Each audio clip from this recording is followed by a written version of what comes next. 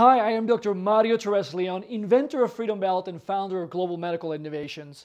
I want to thank the founder of this blog, livingwithacatheter.com, Mr. Ken Theriot, for inviting me to share some insights as a interventional radiologist and physician who's been performing procedures with catheters for over 20 years on how to go about your life in a better way. So these are the tips to improve your living when living with a catheter.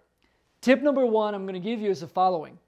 Many patients do not know that their drainage bags need to be replaced on a frequent basis, particularly those patients that are wearing Foley catheters where urine is going into it. You should at least be changing the bag on a weekly basis. And one of the reasons is the bags, they get stained with the urine products, but also, as you probably know, they get foul smelling.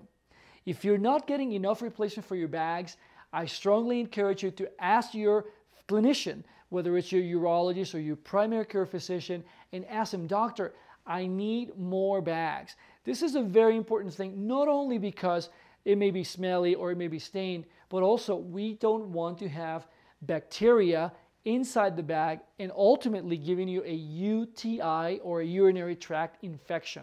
This is a massive tip. This is Dr. Mario Torres Leon inventor of freedombelt.com, saying thank you to this community, livingwithacatheter.com, and telling you change your bags on a frequent basis, at least once a week. See you soon with the next tip.